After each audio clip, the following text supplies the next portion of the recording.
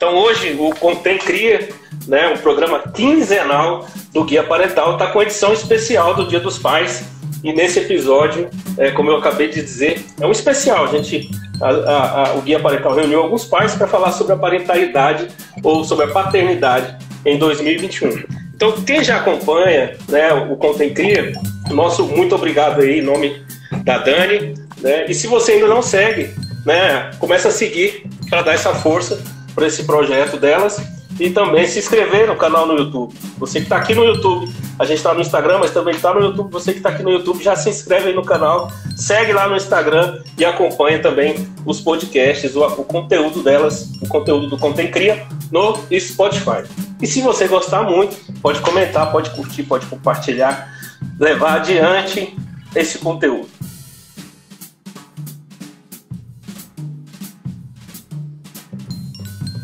Então é o seguinte, para a gente dar andamento aqui no papo, né? Vou pedir para os camaradas aqui se apresentarem. Como eu sou mais, é, comecei a falar mais que todo mundo aqui, eu vou me apresentar. Meu nome é Esdras Messias.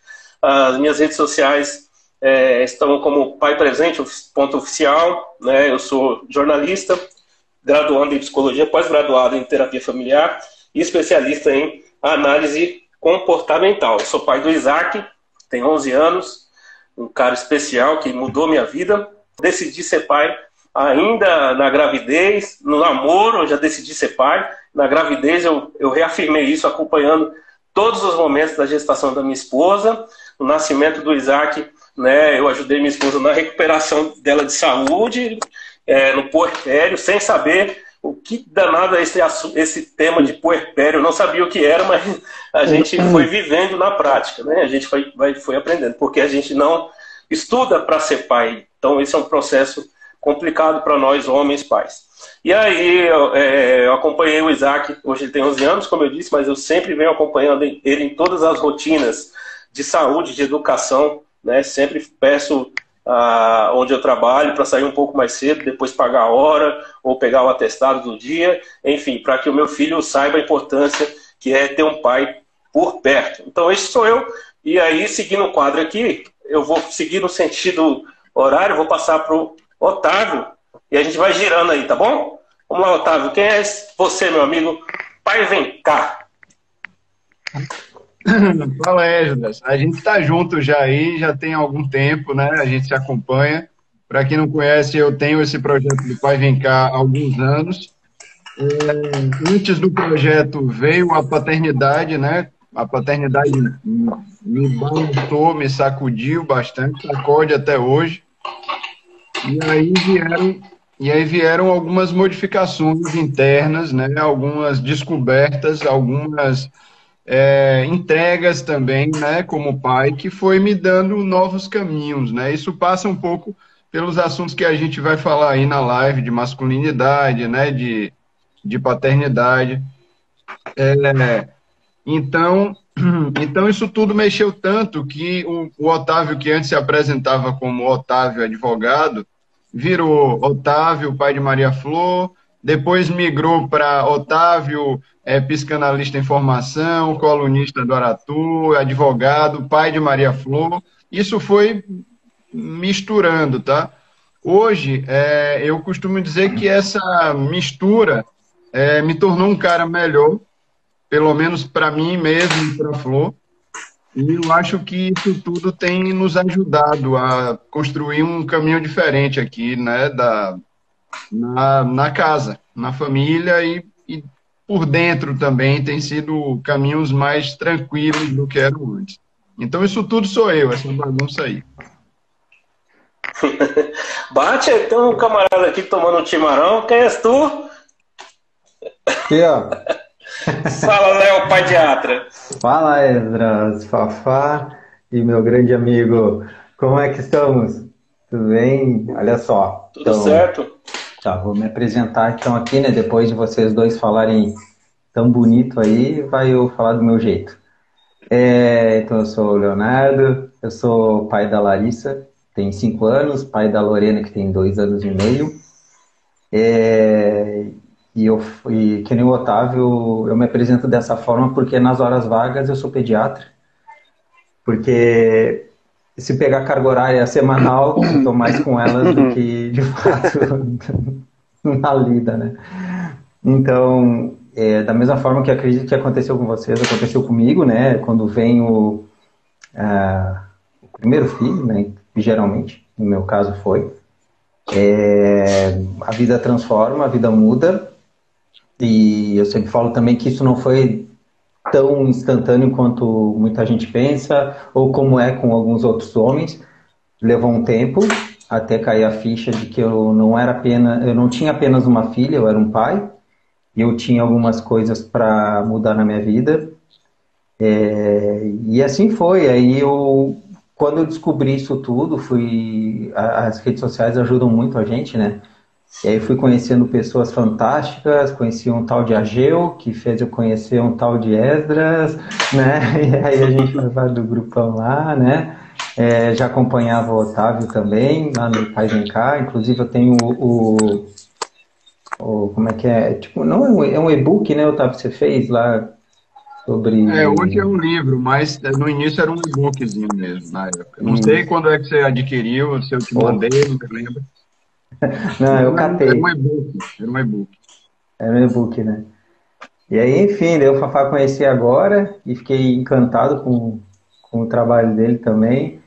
Mas peraí, antes de você passar a bola, é o seguinte: ah, tem muita, muita gente que fica, fica assim, ai, o Rodrigo Hilbert, ai, aquele homão que faz isso. Vocês não conheceram, não conhecem ainda o, o, a vida do Fafá e do Fabrício.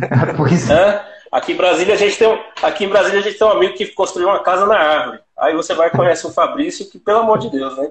Quem é Rodrigo? Quem é esse homão da poxa? Fala aí, Fabrício, Fafá. Boa Diga noite. aí, quem é você, meu amigo? Boa noite, amigos. Boa noite a todos. Tudo bem? Boa noite a todas. Uh, bem, eu sou o Fabrício. Meu nome é Fabrício, mas eu gosto que me chamem Fafá. É um cartão de visita e uma e dá liberdade também de chamar qualquer pessoa no diminutivo e quebrar qualquer tipo de barreira, assim, a gente já começa íntimo desde o início, né?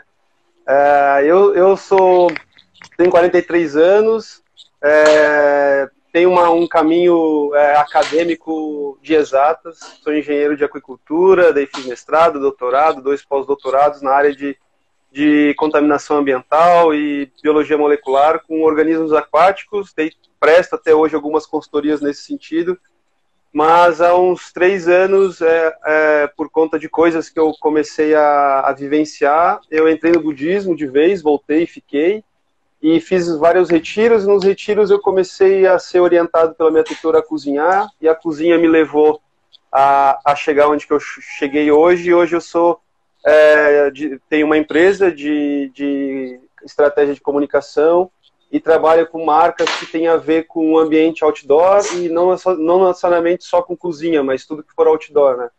E daí coleciono algumas, algumas identidades, assim, né? É, é, tem uma, uma ligação muito forte com fogo, por causa da minha origem do Rio Grande do Sul, tem uma ligação muito forte com o escotismo, depois eu tive uma educação super é, militarizada por conta da minha família paterna ser toda da aeronáutica do exército, meu pai também é. É, em contrapartida, eu tive uma, uma, uma ausência da, da paternidade é, durante a minha infância e cresci com as minhas duas irmãs mais velhas, eu caçula protegido, e a minha mãe e duas avós muito presentes, assim. Então, meu lado maternal já é um lado muito de ternura, de criação, de pintura, de música, de dança, é, de lavoura, né? Meu avô era da lavoura, meu avô materno.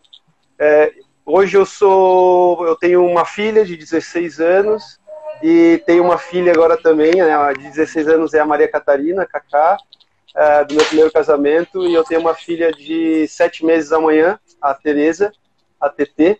E uma distância bem grande. É, a TT é filha da Laura, que eu estou juntos há 13 anos quase. E já fizemos poucas e boas. É uma história bem legal, assim, mas outro dia a gente conta numa roda, assim, a gente se conheceu em Bangladesh, cara. Se conheceu em Bangladesh, do outro lado do mundo, assim. E é isso, assim, eu, na verdade, eu, eu, eu entendo, só para fechar, eu entendo que os talentos surgem é, na minha frente e aquilo é muito prazeroso fazer, eu faço, faço e eu tenho uma capacidade de entrega com, com qualidade, porque eu, tudo que eu me dedico, eu me dedico 100%, assim. Então, acaba saindo aquilo muito legal e aquilo às vezes me acompanha por um tempo, assim, né? Então hoje eu sou cozinheiro, tenho uma empresa de comunicação estratégica, faço pranchas de surf, então eu também esculpo, é, produzo eventos aqui na região de Santa Catarina, estou indo para a Serra da Mantiqueira passar uma semana cozinhando no meio do mato semana que vem, e é isso, sim, cara. Tentando se virar nos 30, como diz um amigo meu, é, quem vê copo na mão é, não conhece os escorregões por trás disso, né? Então, a gente tá na batalha aí, cara, todo dia. E é um prazer estar aqui falando, com vocês. Tô aqui. falando. Eu disse, fica aí vendo o Rodrigo global e vai, vai, ver, vai conhecer um cara que a vida real é muito massa. Pô, eu vou conhecer o Rodrigo ainda, cara. Eu acho que a gente vai ser um belo amigo, assim. Eu não sei fazer tricô, né? Eu ainda nem, vou fazer tricô e crochê, porque o que me chama atenção, na verdade, é ponto cruz, bastidor. Eu gosto daquilo ali. Então, em breve, eu vou estar fazendo um, um ponto cruz aí. Ô, Fafá, eu falo, eu falo, eu falo essa, essa brincadeira com o Rodrigo mas na verdade, oxalá que a gente tivesse muitos, muitos Rodrigues, muitos, muitos Fafás, né? Uhum. Muitos, muitos Otávio, muitos, muitos, muitos, muitos Léos, paidiatras. É, com certeza o cenário seria outro. Mas peraí, outro dia teve um, uma, um programa aí com o Rodrigo e, e a esposa dele deu uma dura assim, de, ah, se eu, se eu não cobrar, ele não faz. Eu falei, aí tá vendo? Tá vendo que ele não é esse cara tudo. Ô Edgar, só fazer uma observação, assim, eu tô no perfil do Guia Parental hoje, porque a gente só pode entrar quatro perfis, então se quiserem ah. ver, é arroba fafaflores78. Tá? Se alguém quiser Isso, escreve, você conseguir você conseguir escrever aí no chat, fica bom também que as pessoas depois vão, vão conseguir. Ó, a minha esposa entrou agora ali. Ela disse que olha viu só, a, olha a só, Lima. Aí, a Laura viu também. Laura é sua esposa, é? é, a Laura é minha esposa. Pois é. Mas eu já combinei umas coisas com ela aqui, entendeu? Não, brincadeira. olha só, olha só, gente. A gente vai entrar ah, no assunto aqui. É, dentro da pauta que foi é, feita do, do convite para a gente, né? Do convite para a gente, que é a paternidade em 2021. Vou pedir para você que está aqui no chat, os colegas que, as pessoas que me seguem, as pessoas que seguem o Otávio, o Léo, o Fafá, para comentar, fiquem à vontade, o espaço aqui é nosso, tá? Podem fazer perguntas, à medida do possível, a gente traz a sua pergunta para cá, tá bom? Mas a ideia aqui é que a gente vai, vai dialogando sobre os temas sugeridos pelo Guia Parental aqui no Contém Cria. Bom, é, falar em paternidade em 2021 e existe uma bolha ainda, né? Que tem falado paternidade ativa, paternidade consciente, paternidade afetiva, paternidade responsável. Essa bolha é onde nós provavelmente, provavelmente onde nós estamos inseridos. Porque esse, esse tipo de nomenclatura, vamos dizer assim, ainda não chegou né, numa camada mais abrangente.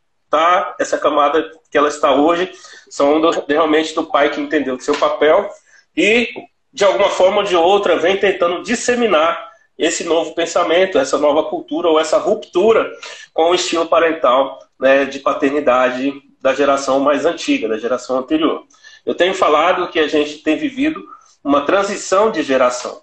Ou seja, a geração dos nossos pais, ou a geração, por exemplo, o Fafá não teve né, uma presença paterna, mas a geração a, anterior à nossa, de hoje que nós somos pais, ela viveu uma, uma forma de criação um pouco mais dura, um pouco mais austera, não dava muita margem para que os filhos né, pudessem é, é, expor seus sentimentos, tampouco os próprios pais. Eles não, eles não realizavam a abertura dos seus sentimentos como a gente faz hoje com os nossos filhos. A gente abraça, a gente diz que ama, a gente procura é, perguntar o que está acontecendo. Então, dentro desse contexto, eu queria perguntar aqui para o Otávio, a gente vai sempre seguir a rodinha aqui do relógio, tá? É, Otávio, para você, é, até onde está chegando essa nova nomenclatura aí? O que, que a paternidade em 2000, 2021 ah, tem representado na sociedade, no seu ponto de vista? Olha, eu acho que não adianta muito a gente dar nome é, às coisas e não se envolver com elas, né? Então, por exemplo, as pessoas costumam é, chamar de machista o machista, isso não resolve o caso. Né? Se você chamar um pai que cuida do filho de, de paternidade ativa e não de paternidade afetiva, isso não muda muita coisa. Eu acho que as pessoas estão muito mais preocupadas em dar nomes do que em se envolver com esses papéis. Eu acho que o, ide... o nome pai e o nome mãe já carrega muita coisa com ele. O que falta são esses personagens carregar junto esses afetos. Né? E se a gente para para é, conceituar o afeto, a gente vai encontrar diversos nomes. Então, assim, eu estou aqui para bagunçar essa live, para a gente não seguir o roteiro da Dani, né? porque senão a gente vai ficar aqui, por exemplo, conceituando o que é paternidade afetiva e o que é paternidade ativa. Mas, resumindo, o que é que é isso? Paternidade ativa é que as pessoas tanto falam, foi esse movimento que aconteceu do pai mais presente, do pai junto, do pai ativo e tal, mas nem sempre ele está de fato na cena, né? O pai afetivo, né, essa paternidade afetuosa, ela já é uma paternidade mais próxima, mais junta. Você falou um outro conceito aí, não foi, Esdras? Foi paternidade responsável, consciente, ativa, afetiva. Pois é, perceba que o cara que vou inverter. Perceba que o filho, de algum modo, precisa que esse pai seja ativo, responsável, consciente, afetivo, afetuoso, né? Tenha um pouco de tempo ali para disponibilizar para ele. Então, é a minha proposta, e sempre vai ser assim, porque é meu, é meu vírus, ao invés da gente ficar entrando nesses conceitos, que a gente quebre todos os conceitos, e consiga se envolver com os filhos, independente do nome que nos dão, entende? Então, eu acho que a paternidade do século XXI, junto com a paternidade do 2021, ela precisa ser inteira, integral, da, maior, da melhor forma possível, e, ao mesmo tempo, por mais paradoxal que pareça, é, que se entenda que esse ser humano que tenta ser integral também tem faltas, também tem falhas, e que a gente precisa caminhar junto e crescer junto com os filhos nesse sentido aí. É, esses, esses dias eu dando uma palestra, aí uma mãe me procurou ao final falou assim: Ah, é tão difícil porque eu vejo o pai do meu filho ah, muito, muito machista, como é que faz para ele mudar? E aí fica um, um, enfrentamento muito pessoal. Disse assim: olha, a primeira coisa é, você tentar entender qual é, o história, qual é o histórico dele antes de ser. Ok, Isaac. Oi. oi, oi. Pois é, é, você tentar. Deram um joia pra você, tá, pai? Tá. É, então é tentar entender primeiro a história dele, antes de ir para um embate direto. Que, que aconteceu com ele, com a infância dele? Porque muitas, muitas vezes acontece um, uma repetição de um padrão que é até inconsciente. Ele reproduz o, o que viveu ou o que não viveu com o filho. E aí eu, a gente conversou bastante. Aí ela entendeu um pouco mais, porque às vezes é isso a gente está olhando muito o sujeito, muito o indivíduo, sem considerar o histórico, o passado. Isso acontece muito nas relações, né? Que às vezes você começa a se relacionar com a pessoa é, cheio de florzinha, cheio de amor, mas não, não, não, pergunta sobre tudo, né? O diálogo não é muito aprofundado. E aí você vai descobrir isso depois que começa a ter filho, depois de algum tempo de relacionamento. Agora, Léo, você, você é um cara que está lá na ponta, você é um cara que está lá na ponta. Eu já tive o prazer de para mim é uma, é uma honra, um prazer acompanhar o meu filho nas consultas com o pediatra, enfim. É, mas você está aí na ponta e a realidade, né? E eu concordo muito com o Otávio na fala dele que paternidade tem. A gente pode dar inúmeros é, temas, inúmeros, inúmeras nomenclaturas, mas se o pai não for é, realmente é, consciente, vai ser só uma nomenclatura, né? Aquele hum. pai lá ele, é só uma nomenclatura se na prática ele não provar, não demonstrar que ele está afim do jogo. Como é que é aí na ponta aí a sua experiência dessa paternidade em 2021? Os pais estão mais presentes, estão acompanhando mais ou continua aquela, aquela recepção lotada de mãezinhas, né, lotada de mães com os meninos no colo, com a cara esgotada lá e você tendo que fazer o meio de campo lá dentro? Cara, eu acho assim, eu, eu, eu me sinto privilegiado, você, vou ser sincero com vocês. Seja lá no consultório ou no posto de saúde que eu atendo, é, tem essa coisa de energia, né? Acho que o Fafá consegue explicar um pouco melhor depois. De que, não sei, as pessoas, os pais vão.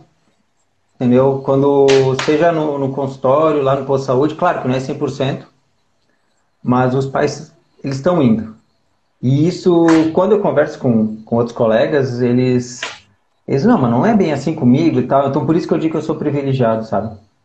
E lá no início da pandemia, no ano passado, quando, come, quando fechou tudo, né, a clínica onde eu trabalhava, tinha um consultório, fechou, e aí eu, o pessoal começou a mandar mensagem para mim, Léo, como que vai ficar? A gente tinha consulta marcada, tá, daí eu pensei, cara, eu vou na tua casa. E aí foi muito interessante, porque eu já tinha feito um, um, um período atrás atendimento domiciliar, né? Então, só que aqui em Floripa o trânsito é, tá, é, é inviável muitas vezes. E naquela época, muitas vezes eu ia na casa só tava a mãe e o bebê. O pai já tinha voltado a trabalhar e tal. Com a pandemia, os caras foram obrigados a ficar em casa, porque estava todo mundo em home office, né? E eu, foi, foi um fenômeno muito interessante que eu observei. Porque daí a gente só via ali, no, na situação, o pai e a mãe, sem ninguém, sem nenhuma outra pessoa. E eu vi e escutei muitos, muitos pais, porque, enfim, as pessoas me procuram por conta também disso, talvez, não sei, ou tem essa referência, né, que nem tem com todos nós aqui, né, de paternidade e tal, e eles falavam para mim. Então, diziam assim, é, eu estou conseguindo fazer o que eu não fiz com minha outra filha, com meu outro filho mais velho, sabe? Então, começou meio que igual abaixo para esse pessoal que, que, teve filho de março do ano passado para cá. Esse E é muito legal, é muito legal ver isso, sabe? Então, eu me sinto privilegiado porque acontece bastante comigo. Tá? No consultório, eu acho que chega a 95% das consultas pai e mãe junto. Lá no posto de saúde, vamos botar em 60%, 65%. Sabe? Então, deixa eu fazer uma, uma geralmente deixa, eu você... deixa eu aproveitar essa bola aí e, e, já, já quebrar essa, esse padrão também junto aqui. Tem uma pergunta, e é uma pergunta da Laura aqui e já aproveita essas porcentagens, quantos por cento da, das consultas são marcadas pelos pais e não pelas mães? Ah, ainda é pouco. Eu, assim, eu, não, eu não tenho acesso quem marca, entendeu? Eu tenho, uhum. por exemplo, no meu WhatsApp, para os pacientes que eu atendo no consultório, é, tem alguns pais, não é a maioria, mas tem muitos pais que, que são a, a conexão comigo, entendeu? Da criança comigo, não é a mãe. Tá? Só hoje mesmo, uhum. hoje atendi de manhã duas, duas crianças que são os pais falam comigo e até pouco tempo, até alguns minutos atrás, eu estava falando com um pai que estava precisando de uma avaliação e tal. Então, tem, ainda é pouco. Nesse caso, ainda é pouco. E o que eu gosto muito de fazer é grupo, né? Acho Aí põe o pai. Um grande lance aí para mim. Dá. Em cima dessa pergunta, tá, Léo? Em cima dessa pergunta, Léo, Fafá, é uma boa pergunta, né? Um bom questionamento, assim, quantos pais marcam? Mas eu acho que é importante você avaliar a comunicação que é feita com o pai e a mãe, né? Então, por exemplo, se a mãe marca consulta, é o que acontece aqui comigo. Eu não marco, mas a minha esposa marca e diz assim: Isaac tem consulta tal dia, tal hora. E aí a gente já coloca nas nossas duas agendas no celular. Já uhum. fico ciente. Então é, vai muito da comunicação que é estabelecida com, com o casal ou com os pais do filho, do filho. Se não tem a comunicação, realmente vai sobrecarregar. Porque se em algum momento a minha esposa ela falar assim, é, é, Esdras, marca consulta com o Isaac no pediatra no mês que vem, eu vou fazer isso. Porque ela está dividindo uma responsabilidade, uma ocupação comigo, porque ela já tem tantos outros afazeres. Mas a partir do momento que funciona entre nós, ah, é, é, esse combinado aí está fluindo super bem. Entendeu? Então, eu acredito que vai de casa para casa e a comunicação que é feita entre, entre os pais da criança. Uhum. Eu, eu, o importante é a criança ser atendida, não quem, quem marcou. Eu vou, vou quebrar de novo. Minha opinião, tá? Desculpa, André, achei que você já tinha acabado, foi mal. Quebrei demais. Não, pode, pode falar. É, eu acho que a gente vai viver um momento, tá? Que, que eu acho que ainda não chegou, mas vai chegar. O que é que está acontecendo? É, havia, haviam muitos pais ausentes, a, ainda existem, né, infinitamente muito maior do que a quantidade de mães que, por acaso, porventura, não dê ali uma atenção ao filho, mas os pais são grande maioria. Mas havia esse número muito maior. Aí começa esse movimento de pai presente e começa eu não sei se vocês percebem isso, um movimento de disputa em casa de quem é mais presente. Eu acompanho isso nas consultas. Então, o que é que eu acho que vai acontecer como movimento social? Vai começar meio que a ter uma disputa familiar entre quem é mais presente e quem é menos presente. E isso é bom para a criança. Só não pode rachar no meio, né? Que nem aquela, que nem aquela passagem bíblica lá. Salomão, né? Do, do rei Salomão, né? no meio, é. E aí, é, então, assim, a gente precisa acompanhar esse movimento social que está acontecendo, de pais querendo serem pais, né, querendo ser pais, mas há também, de, de, de algum modo, de dizer assim, olha, calma um pouco, entendeu? Acalma um pouquinho, porque talvez não seja o lance do ah, mas agora eu que tenho que trocar fralda. Eu, eu, eu acompanho isso aqui. Tipo, mas você trocou a fralda ontem o dia todo, agora esse, hoje é minha vez. Isso vira um assim dentro de casa. Imagina que loucura. Então eu acho que é um movimento que vai acontecer, já tem acontecido de algum, de algum modo, mas eu acho que a, as crianças ganham com isso, mas é preciso, gente, ter uma tranquilidade de dizer, olha, o ideal é que os dois estejam presentes, um ajudando o outro aí, como o Esdras falou, mas ajudando o filho também, mas de algum modo é, se complementando, né? E não numa disputa entre quem ama mais, quem é, cuida mais. Com certeza. Porque, porque não se enganem, Isso. não se enganem. Esse lance da paternidade ativa tem muito homem aproveitando esse momento para dominar também a casa novamente na ideia de quem manda sou eu, eu que troco fralda, eu que dou banho uhum. e tal. Uhum. Então, é algo para a gente ir pisando em ovos aí. Eu me lembrei uma coisa agora, fazendo uma analogia com a cozinha e já quebrando de novo. Essa, essa live aqui, daqui a pouco a Dani vai brigar com a gente. É mais ou menos como o chefe de cozinha, né? É mais ou menos como chefe de cozinha. O cara vai lá, aparece, roda o salão, ele no final ele só colocou a decoração, a última flor no prato e quem está por trás lá que trabalhou, né? Então acho que é isso. Acho que a gente tem que olhar menos para o prato finalizado e ir lá plantar a semente daquilo que vai comer, assim, né? Então tem banheiro para faxinar, tem roupa para lavar, tem louça, tem comida para preparar tem roupa para guardar, tem, olha, meu, tem fizer a lista de quem está em casa, ainda mais agora, é. a gente em home office tem muita coisa para ser feito, sabe? E tem que surfar a onda, isso. né? Fazer o que tem que ser feito, é isso aí, é o fluxo. E disso, e, e disso aí que você está falando, hoje, né, já de um tempo para cá, 70% era. Isso aí tudo que você falou, 70%, 80% era a mãe carregando sozinha nas costas.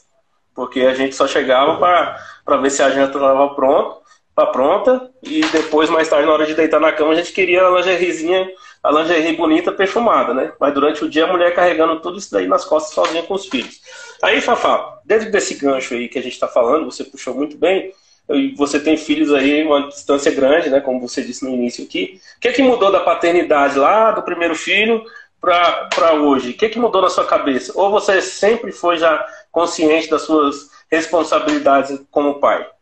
Então, acho que eu vou começar falando assim, é, eu tinha a presença do meu pai, eu falei, acho que no início eu não fui muito completo na fala, mas pelo meu pai ser militar, ele ia muito, ia muito para missões, assim, ficava dois meses fora, daí ele voltava, passava uns 15 dias em casa, e daí depois ficava mais dois meses fora. Então, a presença do, no cotidiano da minha infância, por muitos anos, assim, a base toda, foi com presenças do meu pai, meu pai muito severo, muito doutrinador, né? Eu, eu tomava uns cascudos e nem sabia porquê, e ficava pensando, devo ter errado alguma coisa. E depois eu tinha toda uma outra educação, que também tinha também essa bagagem é, ancestral da minha mãe, herdada com os meus avós, e também tinha uma, uma, uma ausência de, de explicação que hoje tem muito, é muito rico a nossa, nosso contato, né? Nossa fala com as crianças mas era menos é, agressiva, era mais é, li, li, tinha mais liberdade, assim, tinha mais rua, enfim. É, sobre a primeira paternidade e a segunda, eu acho que na, a, minha primeira eu, eu consegui ter um pai diferente porque eu já tinha essa bagagem, bagagem materna, afetiva muito forte em mim, né? Então É, mas eu errei pra caramba. Eu acho que a diferença entre as duas é que hoje eu sou menos babaca, assim. Antes eu era muito mais babaca, sabe? E, e em muitos momentos, é, hoje, comparando a, a paternidade com a da Tereza, eu percebi gritos ou ordens ou é, uma violência que eu fiz, tanto física mesmo, de dar um tapa, dar um, sabe, botar num castigo com a, com a Maria Catarina, olhando hoje para a Tereza, 16 anos depois, né, e também praticando é, a, a, o, meus, o meu Dharma aqui também, eu consigo olhar para a Tereza e falo, cara, puta, errei com a Maria Catarina lá atrás. Daí o que, que o Fafá faz? Pega o telefone, chama um WhatsApp de vídeo e conserta aquela cicatriz, assim. E a gente chora junto, eu e a, eu e a Cacá, a gente chora junto, a gente se perdoa, a gente se reconhece como humano querendo ser feliz, se afastar do sofrimento, mas que age por desejo e apego, e mesmo querendo às vezes fazer outra pessoa feliz, a gente às vezes responde com uma ancestralidade por trás, que é a voz do pai, é a voz do avô, e requer da gente ter essa mente presente de segurar essas vozes atrás, não negar, honrar aquilo tudo, porque foram pessoas que tiveram todo o cuidado para eu estar aqui hoje conversando com vocês, então houve cuidado, né? Eu não passei frio, não passei fome, não perdi membros, não quebrei nada, porque cuidaram do meu avô, cuidaram do meu pai e o meu pai me cuidou. E o que eu tenho que fazer é o mínimo, é me esforçar dentro de todas as possibilidades de construir uma paternidade, sem mais nada na frente, é, real e que eu consiga trazer para Teresa sorriso. Ela tem que sorrir todos os dias, sabe? Eu acho que essa é a questão, assim.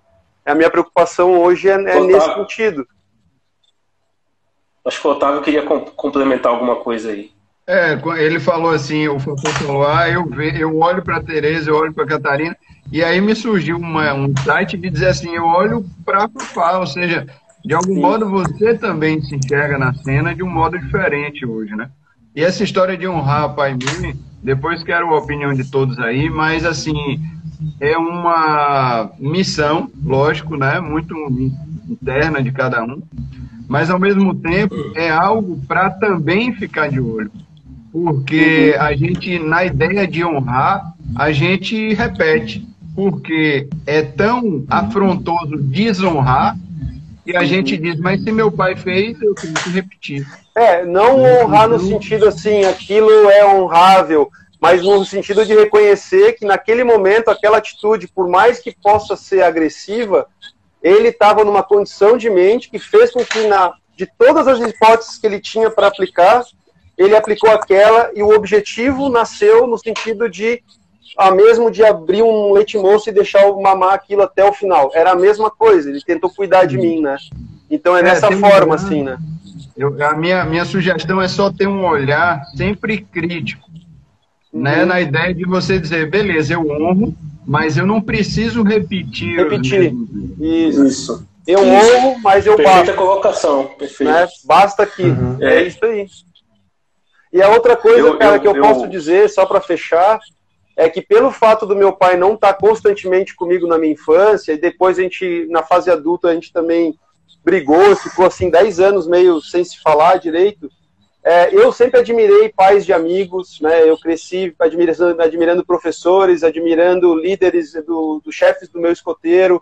Eu admirei é, outras figuras masculinas e que isso fizeram eu montar a minha masculinidade também e a minha paternidade também, tá? Então, eu tenho referências paternas de pessoas que não são pais, mas eu queria ser filho daquela pessoa. Então, por que eu quero ser filho daquela pessoa? Ah, porque aquela pessoa é livre. Eu vou ser livre com a TT, eu vou ser livre com a Kaká. Sabe? Então, ah, vou acampar com, aquela, com elas, porque aquele cara, se eu fosse filho dele, ele acamparia comigo. Então, eu vou fazer, sabe? E é assim que a gente dá chance, a gente cria esse terreno fértil e, e dá chance aos brotos, né? É, você, você meio que proje é, projeta em sua paternidade as paternidades modelos que você via, mas a paternidade que você não vivia. Né? Sim. Isso, é, isso, é, isso, de certo modo, é um, é um amadurecimento, apesar das, da, dos desencontros que você teve com seu pai mesmo. Né? Uhum. Então, é, é, a fala do Otávio de honrar, é, e, e, eu percebo assim, que o Fafá vem com, com um senso crítico em cima disso, né, né Otávio? Então, é, parabenizar o Fafá por isso, por esse amadurecimento né? E por, e por ver que os filhos, na verdade, nasceram, eles não nasceram para ficar debaixo das nossas asas não. e que eles precisam do nosso olhar, obviamente, para que sejamos instrutores, eu falo, mentores, né? É, é, para que eles não se percam na caminhada. Não que precisa ser da forma que a gente quer.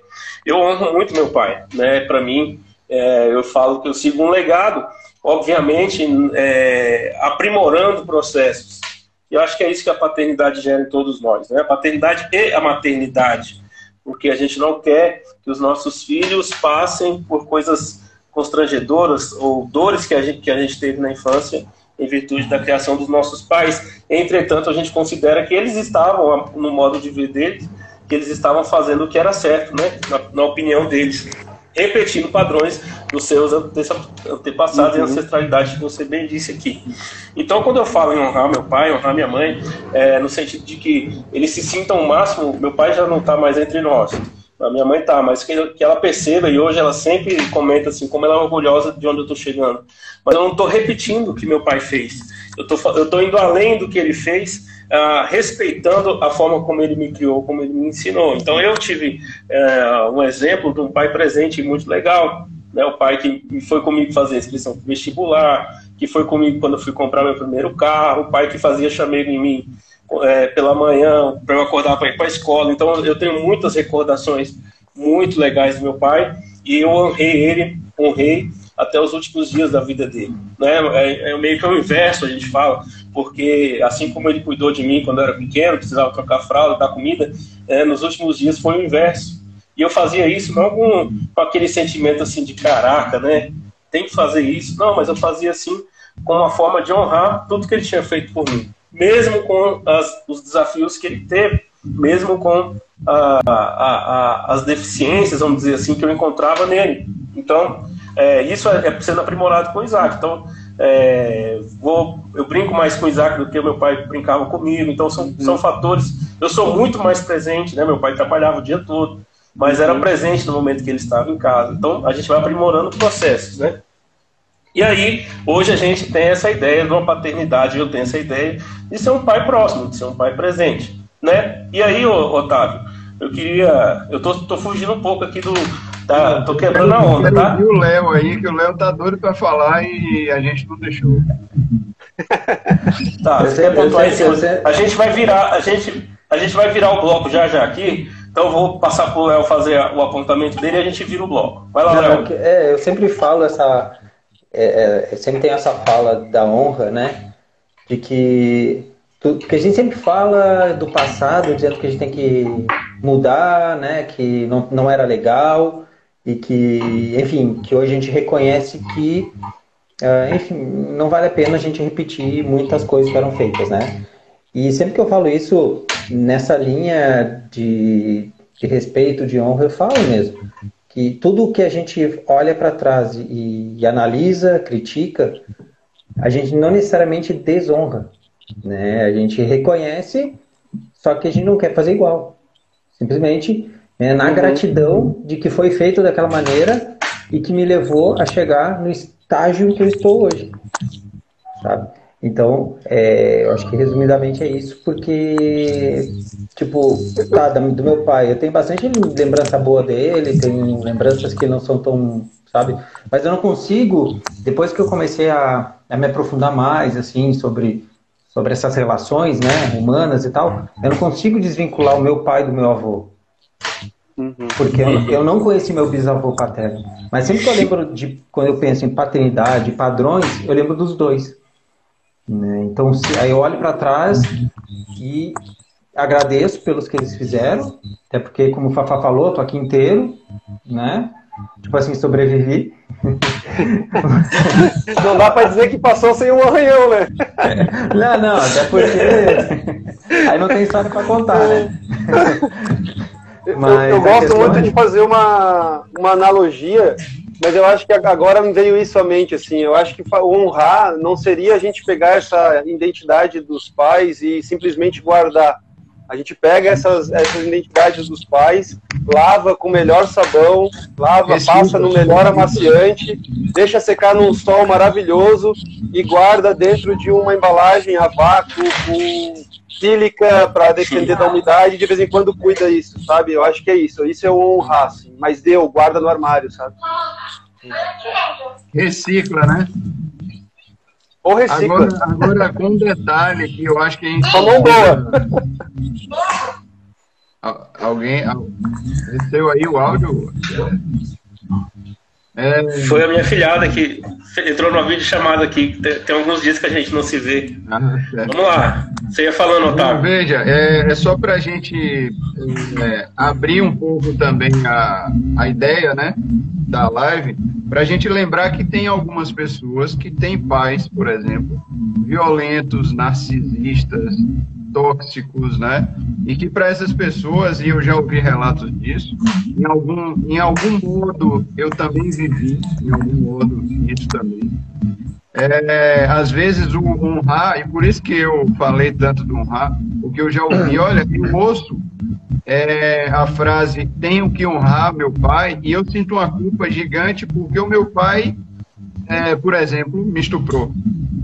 O meu pai foi tóxico, o meu pai era narcisista. Então, assim, para essas pessoas que por acaso eventualmente estejam ouvindo isso, é, que elas também, de algum modo, tenham a liberdade de sentir, né, de dar nome, de, de, re, de elaborar melhor essa angústia e livrar elas também desse peso de necessariamente ter que uhum. honrar, porque depende muito da circunstância de que cada um viveu. Né? Era só fazer esse registro aí.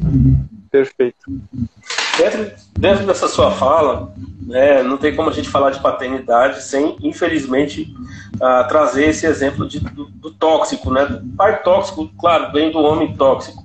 Mas o que, que é o, o que, que é, como a gente diferencia, né, na opinião de vocês, quais atitudes nossas na prática como pais nos diferenciam de pais tóxicos para pais ah, conscientes, pais amorosos? Quais atitudes que a gente hoje, na nossa vivência, diferencia desse pai tóxico, Otávio? Olha, eu acho que uma, uma coisa em específico é, que deram, deram o nome de empatia, né? Eu acho que diferencia muito o, o, pai que é empático, ele se diferencia muito, ele, ele trilha um outro caminho, né?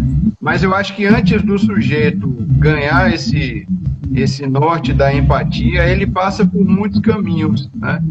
E eu acho que ele começa por uma coisa aí que Fafá falou, de se observar, de se conhecer, de passar pelos processos, de se entender. Aí cada um vai optando por uma coisa, tem gente que vai para o budismo, tem gente que vai para é, investigar a ancestralidade, investigar de algum modo. Algumas pessoas fazem análise, psicanálise, terapia, autoconhecimento. De repente, até numa viagem, porque antigamente tinha, por exemplo, o Caminho de Santiago, que muita gente fazia para se, se conhecer e tal. Então, às vezes, numa viagem dessa, numa, numa viagem ou externa ou para dentro, a pessoa se descobre como ser humano, né, como é, indivíduo e começa enxergando melhor ele, ele começa a enxergar melhor o outro. E aí desenvolve essa empatia. Talvez por isso o Fafá de hoje consiga enxergar coisas que ele não enxergava antes. Mas não é que ele enxerga do lado de fora, é que hoje ele consegue se enxergar melhor na cena. Então eu acho que a diferença nossa do pai tóxico é essa: é se colocar em cena, se colocar em jogo, entender que a responsabilidade também é nossa sobre a criação daquela criança e com isso ter um olhar mais empático de dizer, olha, eu posso ajudar, eu posso auxiliar e crescer junto também, que é uma coisa que a gente sempre fala. Ah, eu, eu sou extremamente defensor do diálogo, né? Léo, a partir dessa ideia do diálogo é, e considerando que nós, pais, homens, temos, muito, temos muita dificuldade de entrar nesse reconhecimento que o Otávio falou, de que assim, cara, eu preciso de terapia, ah, de análise para eu poder reavaliar, ressignificar minhas ações. Né? Como é que a mãe né, pode ajudar nesse processo aí para que o pai não seja tão tóxico? Pois é. Isso foi, assim, é, em relação a, a, ao eu, o que, que eu faço, eu me reconheço como em constante construção, sabe? Como pai. Às vezes eu me olho dando dois, três passos para frente, dou um para trás, dois para trás e vai, e vai, sabe? E uma das coisas que me ajudou muito, como né, o, o, Otávio falou, foi o autoconhecimento, foi, foi estudar, né, me, me conhecer, para ver tudo isso que eu trago na, na minha mente, enfim, na minha história, né? E eu passei por isso, porque quando, é, como eu falei no início, não foi um estalar de dedos, assim, ah, beleza, na, vou ser pai, minha, a Lisiane falou que está grávida, opa, mudou aqui dentro. Não. Eu seguia, eu era o cara que dormia no quarto do lado, porque eu tinha que acordar cedo no outro dia. Sabe? Com consentimento. Ou simplesmente por ela não falar, entendeu? Que queria eu ali do lado. Sabe? E eu. E o tempo foi passando, né? E uma vez eu estava sentado, isso acho que a Larissa, a nossa mais velha, deve ter alguns meses, sei lá, três meses talvez. E eu estava sentado no sofá, era fim de tarde, já era noitinha, tava com a guitarra desligada, só brincando assim, né? E eu vi um vulto, né? Pra lá e pra cá, pra lá e pra cá, assim. Eu pensei, a Larissa tá dormindo. O que, que a Lisiane tá inventando? Cara, eu peguei, aí me deu um estado, vou olhar, vou ver o que, né? É, ela tá fazendo coisa da casa. Sabe? E eu tava ali sentadão. Só porque tinha trabalhado, cheguei em casa, né? Fiquei um pouco a Lari, ela dormiu, daí, enfim, não me lembro bem o contexto, mas eu lembro muito bem disso. E aí foi o estalo que me deu de eu chegar e dizer, olha, é, não sei se é certo ou errado eu fazer isso, mas eu preciso que, da tua força porque eu quero mudar. Eu preciso mudar. Né? Porque eu fui o filho mais velho, o neto mais velho, eu tinha tudo de bandeja. Não é justificativa, mas é para entender como que foi meu passado e que eu quero mudar, porque eu reconheço isso. Eu, né? A gente estudou junto o autoconhecimento, eu e ela, foi bem legal. Então, partiu assim, eu fui e disse, olha, diz para eu fazer tal coisa, até que isso se torne automático, porque quanto mais repetido, né? E eu lembro dela chegar de vezes assim, eu estava sentado vendo TV, daí, Léo, não sei o quê. Eu lembro que no início dava assim, ah, o que que é, sabe? Mas, como eu estava no, eu tava no propósito de. E ainda estou nesse propósito, né? Por isso que eu falo que é constante. É, eu, beleza, vou levantar, vou lá ver. Né? E aí eu falo uma brincadeira no final do que eu falo isso tudo, assim, que hoje pelo menos eu lavo a louça. Né? do meu prato. Do meu não tomar pedrada, né? É, cuidado, cuidado. Mas esse, esse lugar, esse lugar, Léo, que você falou, é muito típico de nós homens. O lugar de aguardar alguém mandar você fazer. A gente fica muito nesse lugar. E a gente tem outro lugar também que incomoda muito, e talvez o Fafá tenha coisas para falar aí, o Esdras também sobre isso, que é o lugar do feminino. O nosso feminino precisa urgentemente ser tocado. E é uma coisa tão é, desconcertante quando o nosso feminino é tocado. E, e, é muito, muita força que a gente faz, é tanta força que a gente é, faz para proteger esse feminino de não ser tocado, que às vezes nos torna violento, nos torna insensível, nos torna ausente, né? A Às gente vezes? Tudo. Oi? Às vezes. Na maioria das vezes.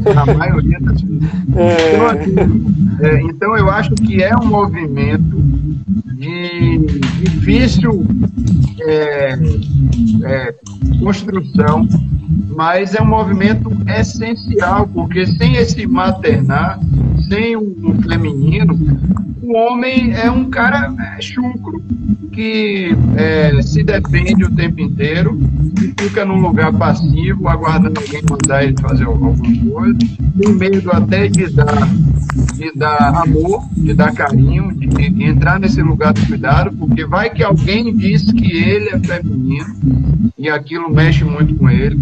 Então, então a gente está é, tá acompanhando alguns movimentos, né? Mas a gente precisa sair desse lugar urgente e ajudar outros homens a sair também desse lugar urgente. Tem uma coisa daí, só respondendo diretamente o, o que o Ezra perguntou, que agora refletindo nisso, porque essa questão do feminino, né, desse, dessa construção que teve de que cuidar, cuidar da casa, cuidar de criança coisa de mulher, né, que nós temos, só que isso não é uma exclusividade nossa, porque elas também cresceram ouvindo isso. E aí eu acho que respondendo um pouco o, o Esdras, né, do como que as mães podem, né, auxiliar, ou enfim, é, movimentar, movimentar junto isso, é também identificando, eu chamo isso de programa, essa programação, né, essa, essa crença que está também na, na mente delas, de que ela, se ela não fizer, não vai ficar bem feito, né, se ela não cuidar do bebê, não vai ser bem cuidado, se não arrumar a casa. Dos bebês, né, às vezes, né? Do marido e do filho, às vezes. Ah, é, isso é verdade. Daí...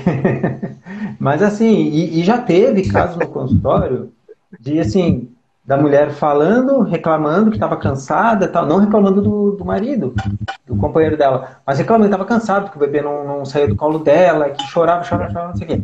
Aí ele pegou e pediu, o cara pediu assim, não, posso falar um pouco? Pelo amor de Deus, fala, abre o verbo, cara. Daí ele explicou, não, porque quando eu pego nosso filho no colo chorando, e ele começa a chorar, não dá três segundos e ela pega do meu colo. Eu, opa! Entende como é automática a coisa? Ela vai lá e pega, porque é ela que tem que fazer o bebê parar de chorar. Na mente dela. Então, conversão foi muito legal, porque a gente conversou bastante sobre isso, né, e tal, e, e no fim das contas, eles até entraram nos acordos que facilitou bastante.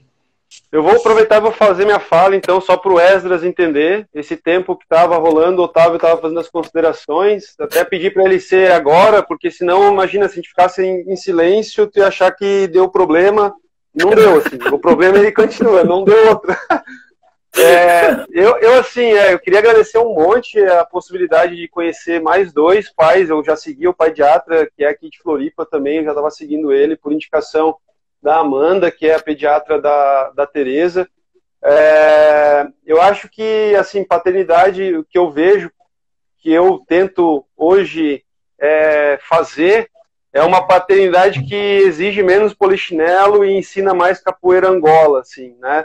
É uma, uma paternidade que, que menos ensina a caligrafia e mais ensina a malandragem e a, e a, e a universidade de calçada, assim, que é o que vai acontecer, né? Eu acho que a educação, ela tem, tem, elas têm acesso, elas estudam, elas possuem referências de outros amigos, comportamento de comunidade, é, tudo isso é muito fácil e a gente está, às vezes, muitas vezes, doutrinando, e o que eu senti falta é, e que eu percebi que fez uma diferença e faz na minha vida, e, e até hoje, trabalhando é, com, com, com o que eu estou trabalhando, e dentro da academia, que eu fiquei 14 anos só de pós-graduação, era meu tempo de calçada, digamos assim. Quantas pedras, quantas pedrinhas eu chutei na rua, né? Então, é o que eu tento passar para as minhas filhas, assim, e para outras pessoas que eu lido, de qualquer forma, que a gente está sempre, toda vez que a gente se relaciona com alguém, a gente tem a possibilidade de criar um, um laço de educação, né? Então, a gente pode sempre a gente está sempre inspirando alguém e não sabe, né? Então a gente tem que ter essa consciência de romper o silêncio sempre com uma nobre fala, sempre procurar ter a melhor qualidade de mente. E é o que o Dalai Lama fala, assim, se tu não pode ajudar ninguém, pelo menos não atrapalha, né? É, dentro de casa, esse, essa homarada que está aí tem que se colocar numa situação de, pô, como que seria se eu tivesse sozinho com meu filho ou com a minha filha? E daí só que é mais legal, porque tem alguém que mora comigo, sabe? E tipo, dorme na minha cama, e, é, e eu posso beijar, e eu posso pegar no cabelo sem ser assédio, eu posso passar a mão na perna durante o filme, e aí aquilo ainda vai botar o ombro, cabeça no meu ombro, e ainda me serve coisas, sabe? E muitas vezes acorda sorrindo. Olha só, tem um monte de coisa legal, e a gente não está nessa condição de retorno ou de, ou de criar o um ambiente para que isso floresça e germine o tempo todo, né? Então, então, assim, para encerrar minha fala, eu acho que a gente tem que ter é, a fragilidade e, e, é uma fala, isso é uma fala do, do, meu, do meu, meu, professor, do Lama Padma Santi, mas com outras historinhas, e é mais ou menos assim, a gente tem que ter a fragilidade e a coragem das flores que elas conseguem romper a mais dura e severa nevasca e furar aquela, aquele gelo todo e abrir aquela flor colorida e a gente olhar para aquela flor e falar é primavera e começar a perceber o gelo descongelando, né?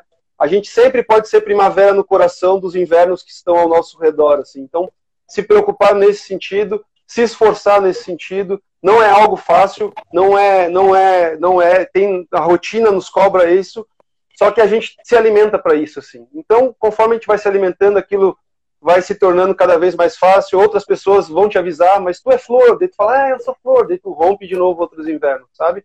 E se tiver inverno também, aceitar e saber que antes não era inverno, agora é inverno, logo, mas na frente não vai ser de novo. Então, dê tempo, assim, tenham calma. Um grande beijo, uma satisfação estar aqui presente com vocês. Obrigado, meu irmão. Vai lá, Léo. Valeu. Acho que depois disso que ele falou tão bonito, eu vou embora. Então, assim, primeiro eu quero agradecer a oportunidade de estar mais uma vez, né, é, falando das duas coisas que eu mais gosto, que é ser pai e falar. E falei um pouquinho de pediatria lá no início, né? Enfim, ou de uma experiência como pediatra. A, a honra de estar aqui com vocês três, né? E, e poder aprender bastante e, e refletir, né? Porque, como eu falei, para mim é sempre uma construção. É, meus erros eu, eu, eu posso dizer sem demagogia nenhuma que servem como aprendizado para mim. E, e, se você ver até meu, meu Instagram, não, até falo de paternidade e tal, mas é porque eu não falo muito para também as pessoas não criarem uma expectativa, talvez enfim, eu me cobre com isso, né? E porque eu também estou aprendendo e eu acho que eu aprendo muito mais do que tenho a ensinar. E, e o que eu, que eu penso sobre, principalmente, uma das coisas que eu queria falar aqui, tá? Que, que aconteceu, enfim, ali no meu perfil e tal, que quando a gente fala é, da importância do, da presença do pai, ou, ou enfim, ou, ou, o que, que a sua falta pode gerar, né? Como consequências, não é é, minimizar a, a, importância da mãe, é sim mostrar que a paternidade tem um lugar, um espaço na mente, na vida da, da, de todas das crianças e, enfim, de todas as pessoas, e que essa ausência tem sim algumas consequências, que pode, né, uh, que cada um cada um, mas que essa que a que a vida vai dando jeitos algumas vezes jeito que consegue contornar e consegue as pessoas superarem essas falhas, ou não, e tem pessoas que não, né? Então, só para é, dizer assim que quando a gente vem aqui falar de paternidade, não é exaltar a paternidade e minimizar a maternidade, não, é só mostrar que tem um espaço, tem um lugar guardado no coração, na mente das crianças, para o pai ou para uma figura paterna, seja ela quem for, porque existem vários hoje em dia, né, tem, tem casais homossexuais com, com filhos, então mulheres, enfim, e não é um homem, mas uma figura, alguma coisa que represente não o homem, mas sim o paterno, o masculino, como foi dito aqui. Uhum. Enfim, é, e agradecer mesmo, e eu acho que é isso aí. Então valeu, valeu é, demais. Agradecer, eu agradecer passaram pelo... aqui, comentaram. Não sei se Esdras está falando né, mais uma vez. Tempo. Falando. Desculpa por, Oh, tá. Que massa, que maravilha tá rolando nessa live. Isso é inédito. Eu queria só. Extra, história, é, tá, cala, Dani? cala a boca de Esdras aí, por favor. Encerra aí, Fafá. Encerra, Fafá. Encerra, Não, Fafá. O, o, Otávio quer falar, o Otávio quer falar. Não, é só para agradecer, que eu esqueci de agradecer o convite do, do, do, guia parental e dar os parabéns às meninas aí. E agradecer a, a oportunidade de estar aqui com vocês também, viu? Obrigado pela partilha aí, pela troca. Valeu. Então falar, é isso, gente. Não. Vai lá, Ezra, passa eu, eu, a régua. Eu queria muito ter entendido o que o Otávio falou. Isso aqui não vai Mas, ter fim. Mas enfim, gente, um abraço a todos. Muito obrigado, Contem Cria. Muito obrigado, Guia Parental. Contem com a nossa nosso apoio, tá? a abertura para que os pais sejam mais próximos e participativos está dada e a gente agradece também a vocês pelo espaço. Então, faz o encerramento da live aí, senão a gente vai explicar demais. Um abraço a todos. Tchau, tchau, gente. Obrigado, beijo grande. E o Otávio e o Esga se falam pelo WhatsApp, dão tchau aí. se resolvam. tchau, tchau. tchau. Beijo.